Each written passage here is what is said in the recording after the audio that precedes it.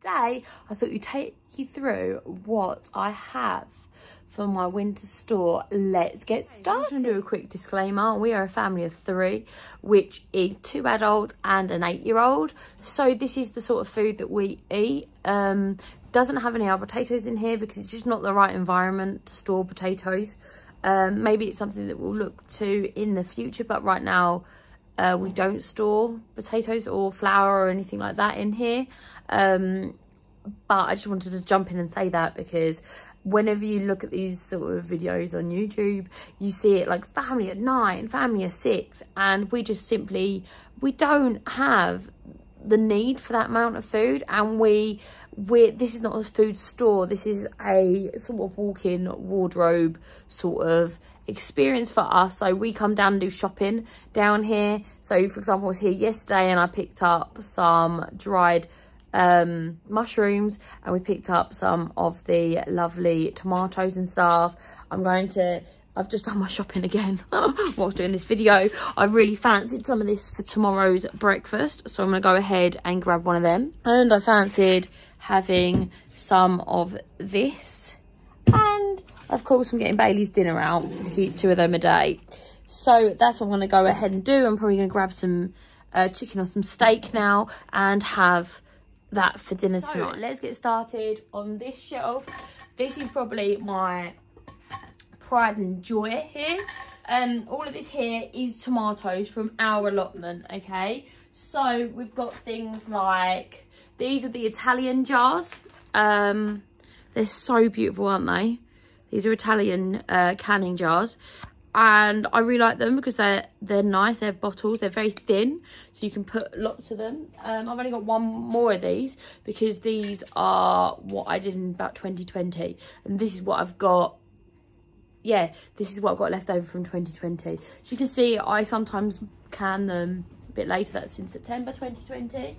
Um, we have these ones, which are like the traditional Ball can canning jars. Um, they're great too. I don't always write what they are, but I know that these are from this year and these will be gone. Okay, should really write on them. I sometimes do, but I obviously forgotten that one. I've also got these, and I'm going to butcher this. These are the La Parfait canning jars. These are fantastic. Um, these are French, and they're very similar to the um, American ones, but they're a little bit bigger. So I think that this is a pint and this is 500 millilitres. Um, it does go a bit rusty only because it's so incredibly damp in here. It's nothing to do with the jar, I tell you. As you can see, this one, which is a little bit newer, has a beautiful lid. Also, if you leave the, these actually have lids that screw on. If you leave the lid that screws on on them, they do tend to rust because I put vinegar in the water when I'm canning. Another type of jar that I'm using, it's old fashioned. Um, I think this is an English type of jar. Um, very similar to the French jar, I think. I mean, they're about the same size. Remember that canning things in the UK is not not always the same as it is in America. We have different varieties available. I love both of these. I actually prefer these ones um, because I think they look beautiful, but they are expensive. Um, furthermore, oh, this is going to be controversial. I also can in old jars. Um, this one's siphoned quite a lot, so I'm going to see if that one goes what all right. But most of the time, they are a okay. I've just I've just started canning in um, these jars for pressure canning because I just found out you could. There is a group on Facebook called Yes We Can Darling. I love them. They are awesome. And it's all full of people that have been canning for years and years and years and years. I can the same way as my nana cans okay? My grandma never had a pressure canner. I do now but she never had one before. All of these are pressure canned by the way. Even though they have a lot of tomatoes in them because i don't know i just I do it that way. I also put vinegar in, uh, sorry, lemon juice in them as well to make sure that they're okay. I've had more failed canning jars this year than any other. And I think the reason why I have is because I canned more this year in terms of uh, like different recipes. So these are curry here. Ta-da!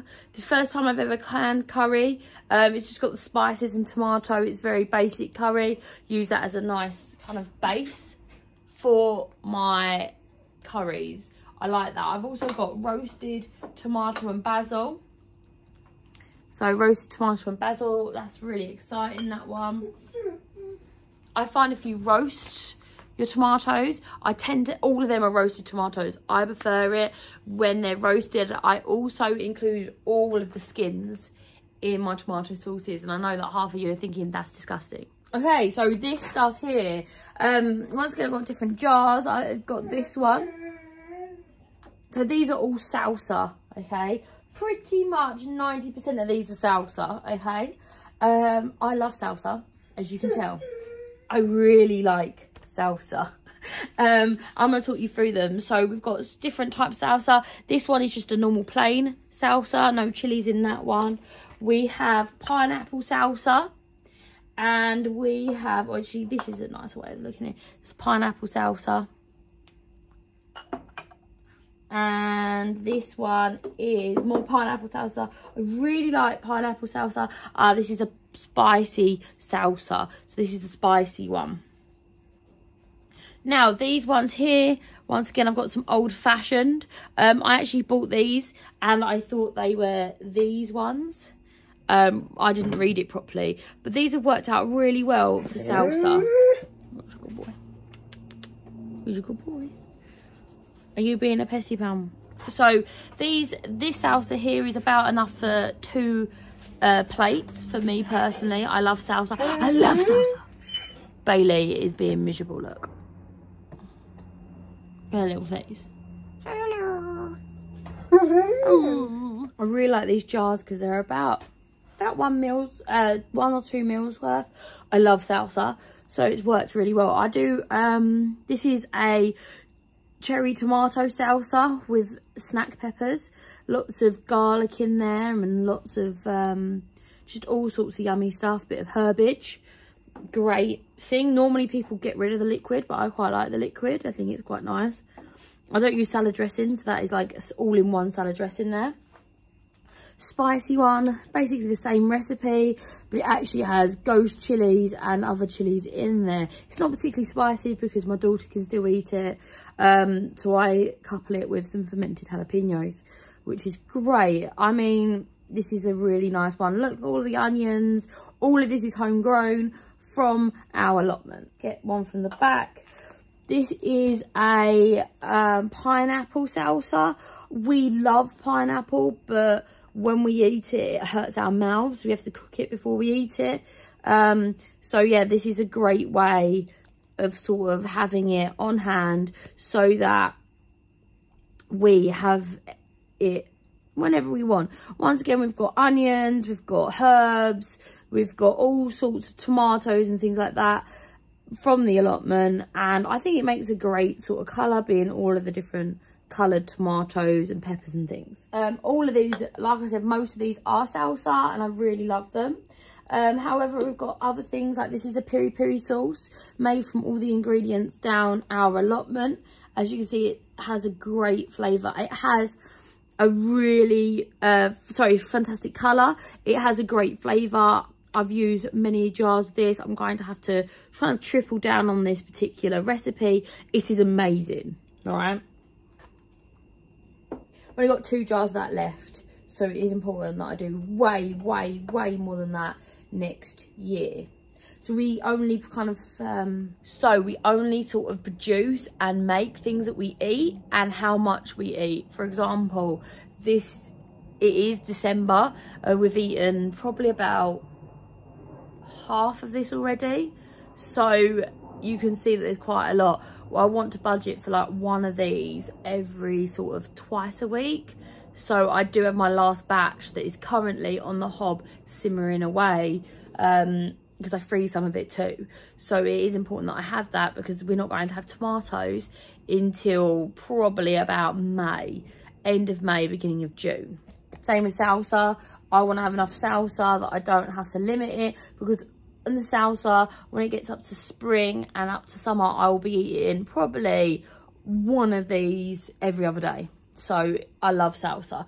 But this is absolutely no preservatives or chemicals in there at all. We do also have, this really should be done there. We also have on this shelf with things like chicken, um, sorry, veg vegetable stock. This from 2020, uh, 2021, so last year's. We still have four jars of that left over.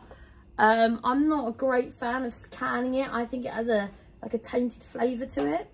Um, so we are still eating through that, but it is a slow goer. Okay, so this level here, uh, we have things that like jams and things. This is our apple sauce. Uh, the apple sauce this year was very kind of like uh, mushy. I think it's because we used cooking apples. Normally I use eating apples and I keep the skins on. So that's something that I've learned. But this is amazing with some yogurt. In fact, I'm going to take one of those down to the house.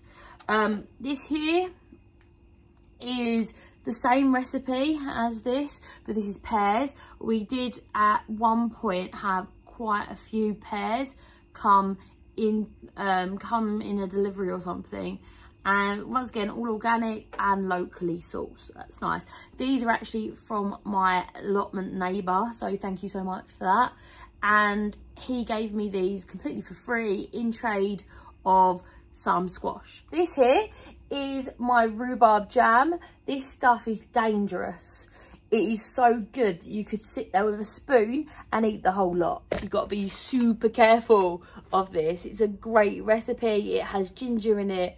It's just super yummy. Um, and it is a kind of sticky jam. I also have, for example, this is plum, plum and blueberry jam. Um, whenever I have too much fruit, because we do like to eat a lot of fruit, when it's sort of overwhelming for us, I do make jams out of it. I really like jams, and once again, these are the Italian beautiful bottles, aren't they? And this is more of a compote, really, than a jam. Once again, really good with yogurt. I eat yogurt every day. I believe this is the same flavour. Yeah, blue bar, uh, jam, uh, plum and black currant, this one black currant jam from our black currant bushes. As you see, really beautiful bottles there. Uh, these are the Italian ones. They're really lovely. And here, another Italian bottle. This is pineapple syrup, great with pancake. Uh, this is also a, another jam. This is rose hip jam. It goes really dark.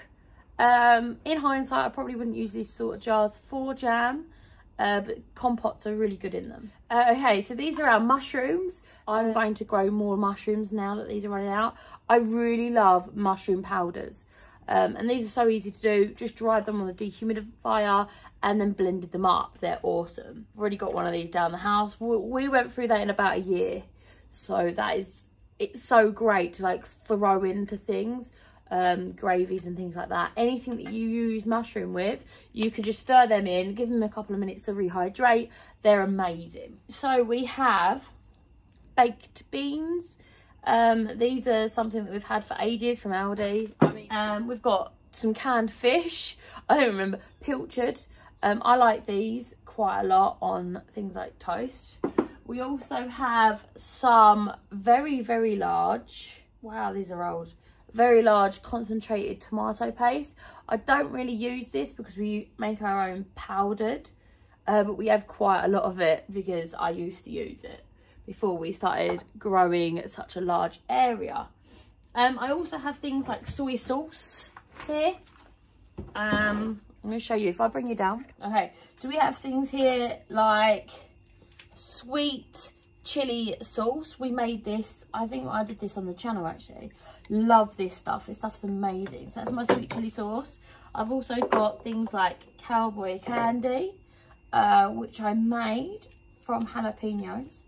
Um, very thick stuff. I also have some leftover cowboy, that's not it, where is it? Leftover cowboy candy syrup. I'm actually probably going to make Um, that with some salmon or something. Um, I love these. Every time they get low, so for example, if I kind of use all but three, I'll make another large batch of this. But until I get lower, there's no point because I'll probably do this within the year. And I like to keep refreshing it. This is the soy sauce that I use to make this. Um, I always have quite a lot on hand. These are the um, some of the pepper chili, what they call pickles that we made this year. These are the lemon cucumbers. I find them really good and quite sort of easy to eat from. Um, we've already got a jar open, so these are just chilling here. Got another large jar of pickles from the allotment. Um, this will probably do us for the year uh, because we've got about five or six jars down the house already. Okay, so this is the other side of this particular um, storage. Up there I've got a um, storage tank I'm going to take down the allotment. But on this side we actually store all of our empty demijohns. These are the demijohns we make wine and cider with. Um, at the moment, we only have bottled, so we're going to be making some shortly. Here we store normally our fermenting demijohns because they're quite tall with the uh, bubble seal thing on them. We also store these. Um, these are glass containers that we use to make kombucha. So when we have kombucha here, we'll just cover it up and let it bubble away. It's quite cold down here, especially in the um, in the winter it's actually frozen in here so it is rather cold. And i think that's where i've lost some of my jars with the contents. It's frozen and it's popped the lid. Here we have all of the squash that we have sort of harvested together. We have this here which is all of the buffy balls that we have. They're down here just chilling for storage because it's nice and dry. Cold down here. Um with loads of these left. I mean this is a whole entire box full of them. We have some down the house still as well. Of course, what we're normally eating goes down the house. So here we have our garlic that we have left. Remember, all of this garlic is in all of that canned goods as well. We also have our squash. So this is a lovely, my favourite squash this year actually. This is a mashed potato squash and a baked potato squash. And we still have some of our teeny tiny little uh, Jack B. Smalls. Uh, they're quite cute. These are like these are just overthrowing, aren't they? Remember, this was a volunteer squash. So it's ridiculous how many we've got there. Okay, so we've got more squash here. We've got a spaghetti squash, more of this mashed potato squash. We've got these ones which are called taffy. We've still got loads, loads, probably about half as much as, no, probably about this much actually, maybe more, down the house, which I just take every day um, I kind of make sure that I'm looking for any blemishes that means that they're going soft or that they are going bad so that I pick those first. For example, here you see how it's starting to sort of wrinkle. This could be a sign that this is on its way out. So these these ones are the ones that I'm going to be eating next because they don't store as well. So for example, this squash here uh, wasn't as mature when I picked it because of the frost. And as you can see, it's starting to go bad. So this will probably go down the allotment for chickens or some other birds. It won't go to my uh, ducks because they don't have the beaks to able to eat it. But this is what you're looking for when you're looking to pick out anything that is starting to go bad. As you can see, it's gone rather squishy and that's because it was so young. So I do store a lot of stuff in these shelves. Um, this takes a lot of work though, uh, not so much the um, squashes. All the potatoes are down the house, but when it comes to the jars it takes a lot of work. So I'm going to show you what we also do. So um, this is also what we've been harvesting. So we've still got some things like sweet corn. We've got some peppers, which are fantastic. We've got loads of bags of them. We've got the big pumpkins that don't last that long and going a bit squishy. We've got things like more peppers. Um, we've got some aubergine, oh sorry, beans I know we've got some aubergines in here. Ah, um, some stuffed jalapenos with some cheese spread. They're really good. And I know we've got some aubergines in there as well. Um, so these are all of the vegetables that we we harvest, but we don't can, okay? So some of them we've kept as chili sauces and stuff. We've got so many. These are just snack peppers. We get so many of them, which is great. So I will be throwing them into stews and soups and stuff like that. This is how I prefer to keep my stock. So it is frozen um, obviously, but I've frozen it in the canning jars. And the reason I've done that is because I like the flavour better and I use it more if it has been frozen like this. I'll come down here on a Sunday and I'll grab this and make this into gravy. Whoops. Another way I like to um, keep my stock in ice cube trays because sometimes I only need a little bit and what I'll do is I'll pop them out and I'll put them into a bag and leave them in there. So these are new and I really like these. This is a great way of keeping ginger and garlic as well. The rest in there is just meat that we get from the butcher. As you can see, we've all packaged it ourselves.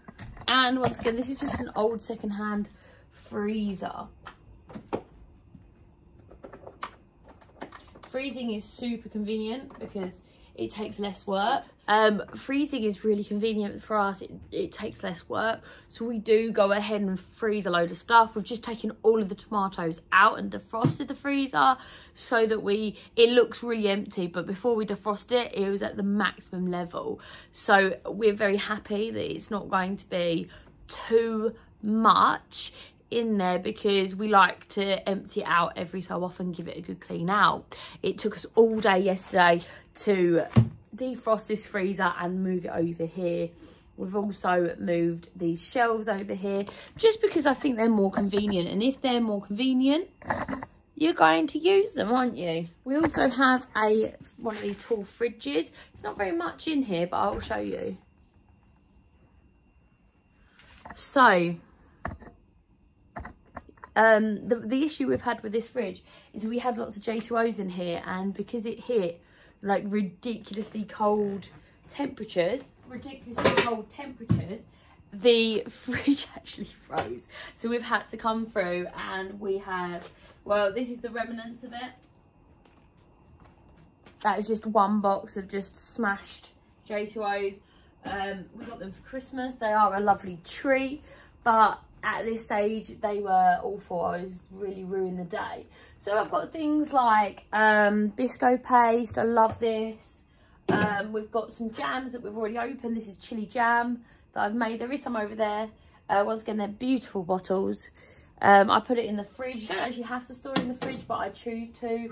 Um i've got some chutneys that friends from the allotment have given me um, uh, this one I really like. This is a courgette, lemon and ginger uh, chutney, but I use it on things like chicken when you're just having like a, a really fast sort of like midweek meal is really great. It's really difficult when you're cooking from scratch to have things that are just like throw and go.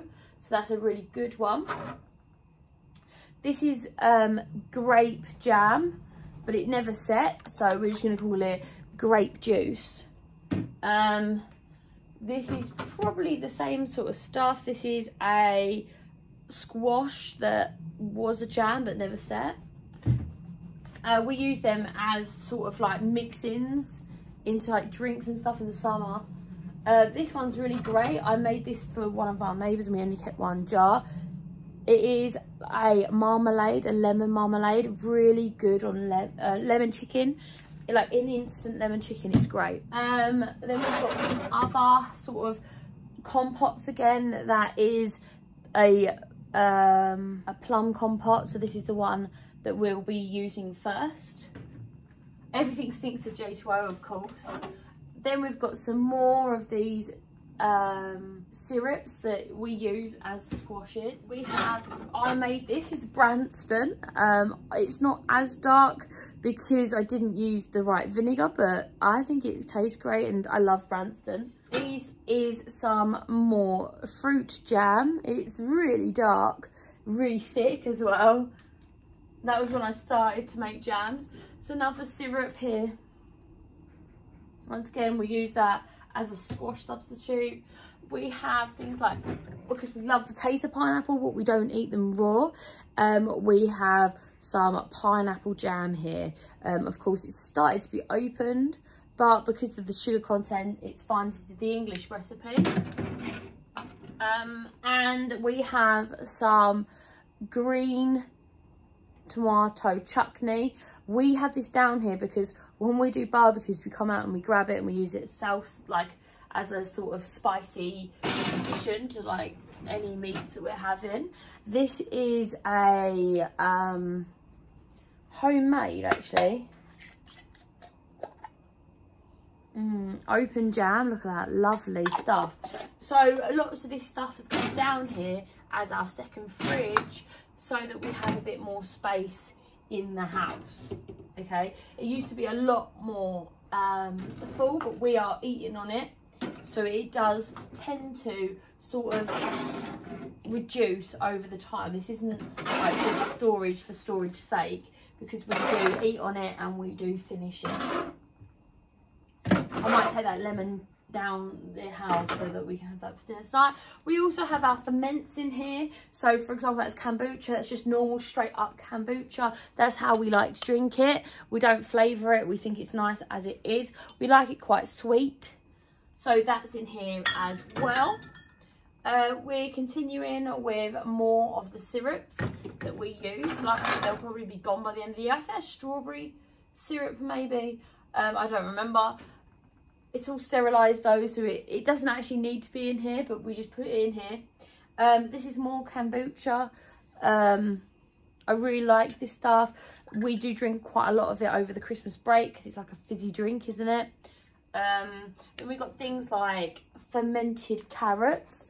These are probably one of my favourite snacks to have. Whenever we have too many carrots, we ferment them. And they're like a super, super nice snack to have. And you eat them pretty much I'd take a jar like this into work and I'll eat through them over the course. Like whenever I fancy them, I'll just take them out, chop them up, put them in a salad. Um, and they're quite good. They're better to digest like that as well. So we have all of those in this fridge. The only other thing I've got to show you, oh, we normally store here, we store um, root vegetables, but at the moment, because of all of the J2Os that smashed and melted, when we came down here, it wasn't a pretty sight. So we've had to, there was only a few of them left because they were from last year, but we're going to um, go and harvest some more and then we'll be able to fill these drawers up as well. We normally fill them up with compost and have them in here, which is awesome. Oh, we also have things like uh, juices for when we have kids over. We have kids come over um, to do Easter hunts and things like that. And when we have that, we have this fridge as like a treat fridge. Not something that we normally have on a daily basis. So with all um, with all canning comes canning jars. These are our empty canning jars. pretty much have gone through them this year. As you can see, uh, let's say 2022 on them. So I just make sure that they're closed and I put them up here. I don't like the idea of dust and debris getting in them. So I've ordered already some more flats and we will go ahead and put them into uh, like these jars once we've done the canning, you know, today. Um, I've also got things like these are so helpful. These are the mushroom sort of things that I do my harvesting in. These just get stored here for the winter. Uh, every so often I'll use these to transport seedlings, which is really helpful because they don't bend and they're really great. Um, I've got some of these La Parfait really big jars. I use these for storage of anything like um, any powders I make, etc. Because they're so, because of the wide mouth, they are so fantastic to store in. Um, in addition, you've got a cap that goes over them, and then you've got these jar lids. So I really, I really enjoy these jars. I think they're beautiful, and I think they're very easy to use. In fact, I do know that I need to have one of these down the house because I've put some lentils away. Um, like I said, we use all sorts of jars. These are old jars for where we used to buy salsa. I don't think I'm going to be buying salsa anytime soon. Um, so this is what we used to buy. I think it's like Domino's or whatever it is. And we used, I used to eat that in two sittings, but it's full of chemicals. This is what we've done to improve that. These are labels that we make, uh, the royal we being I, out of milk bottles. So um, when we went to the milkman, it was a struggle to get these. So we do ask our friends and family to get them. Also, you'll notice that there's lots of jars here, as in second-hand jars. So some of them are things that I bought. For example, sliced jalapenos before I made my own. Love them. But some of them are donated to me by friends, neighbours, relatives, um, because I tend to give them things like they'll give me a whole case of jars. My mother-in-law recently gave me an entire case, a case of these jam jars, which are my favourite jars for making jam. Aren't they beautiful? They're so lovely. She gave me a whole case of these because they saved them for my sister-in-law's wedding. Um, so she saved them like a good two years. And afterwards, she gave them to me because she knows I like jars. So thank you so much really good. Um we got some things like from the remnants of what we used to buy.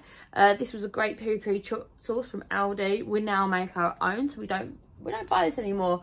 But it is a great sort of option if you um don't have enough room to make things. But lots of the jars we do get from friends and family and we just put them in these sort of big cases. All of these are jars. Um at the back are the canning jars um, old-fashioned ones. So when I do all my canning, I'll just come out and grab these. Um, yeah. I've also got things like, here I'll show you.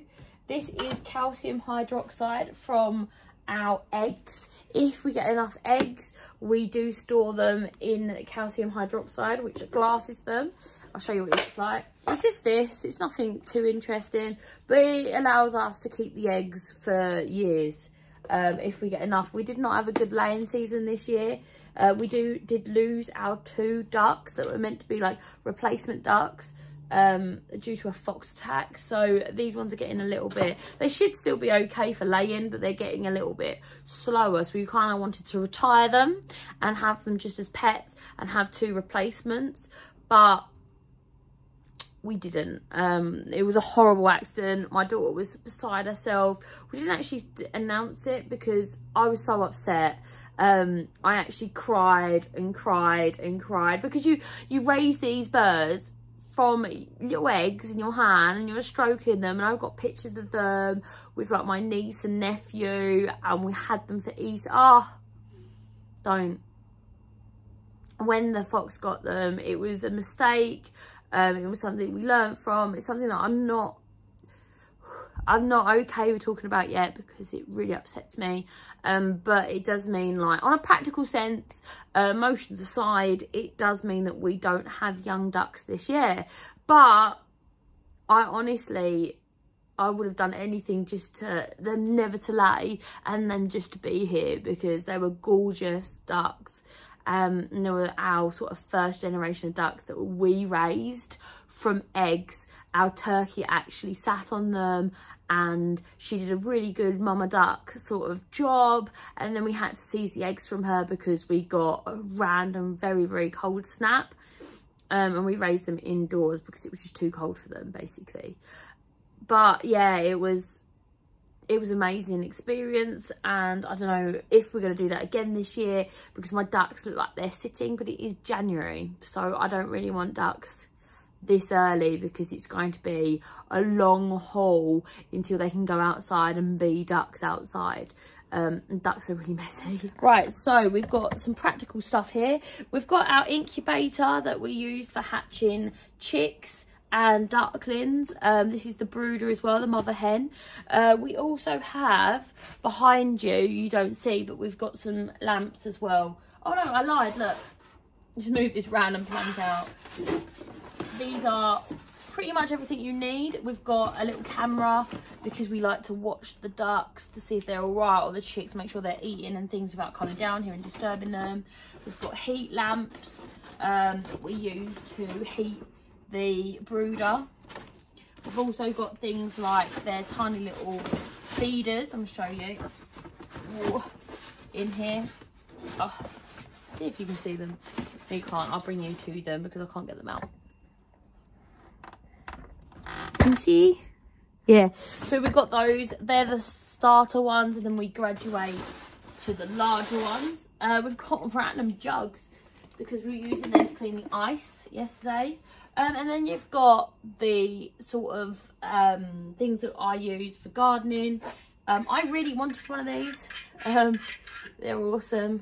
So I've got one of those. I've got some soil, small soil blocks as well. They have different settings on them depending on what you're going to grow.